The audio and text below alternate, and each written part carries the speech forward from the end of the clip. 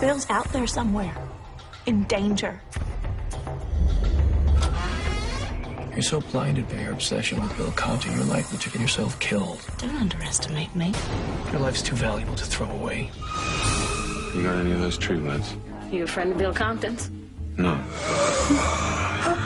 Don't move. We met before? 34 years ago.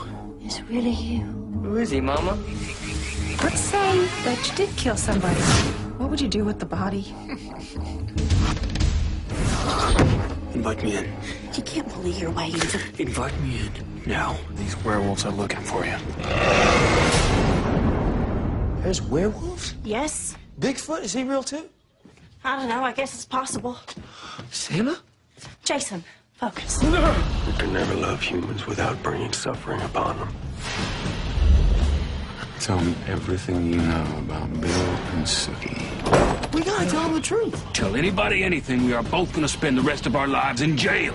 Bill might be in Jackson. We have to go like yesterday. I can't. You shouldn't go by yourself either. No good to Bill or to me if you're dead. Eric Northman sent me. I'm here to look after you. I may not look like much, but Lou Pine's is the oldest ware bar in Mississippi.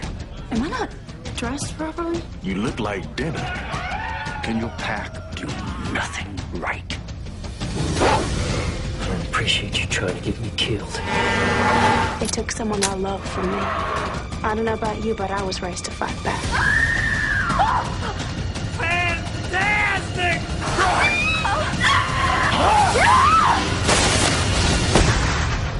Sookie, Bill? do not try to find me. I do not wish to be found.